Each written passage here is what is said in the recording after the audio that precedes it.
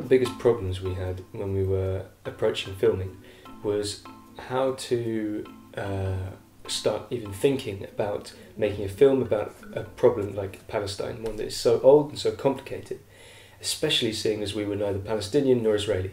The question of perspective was difficult because as the filmmakers we wanted to give as unbiased an opinion as possible and you know let let the people that we were filming tell their story but on the other hand if you are the filmmaker you're always going to be influencing what the outcome of the film is what the people are going to be saying even just through the questions that you're asking. We decided not to use any narration. There's no narrator there's no uh, commentary.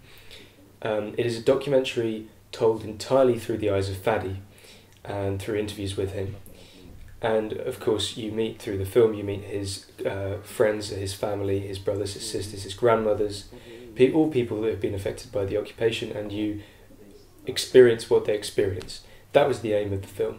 For me one of the biggest challenges was actually making the film.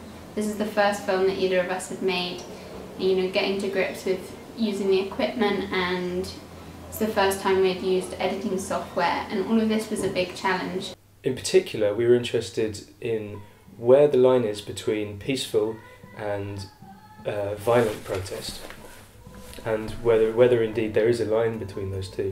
What does it mean to be a young person in Palestine? What does it mean to be a young refugee when the camp that you're living in is 70 years old?